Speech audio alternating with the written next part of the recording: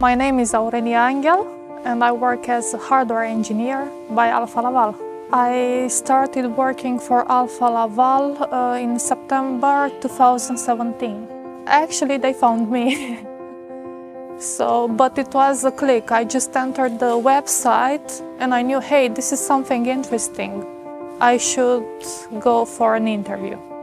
In a job, I'm looking for challenge and I'm looking for evolution. So I want to continuously learn. For me, Alfa Laval uh, was special because they're doing something for the environment. So they are building a cleaning system for the exhaust gases of the engines of the ships. And I think this is such a great thing. Then I want to be part of it.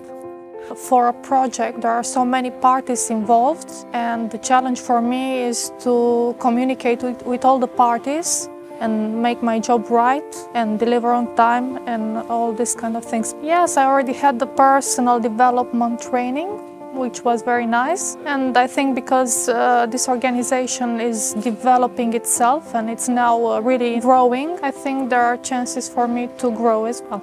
I would say that Alfa Laval is uh, doing something for the world we are living in, so this is something important for me. Then I would say it's a big organization, you get a lot of variety, I mean people from all over the world, which is very nice, very, very nice. And then also the work is very interesting and challenging as well.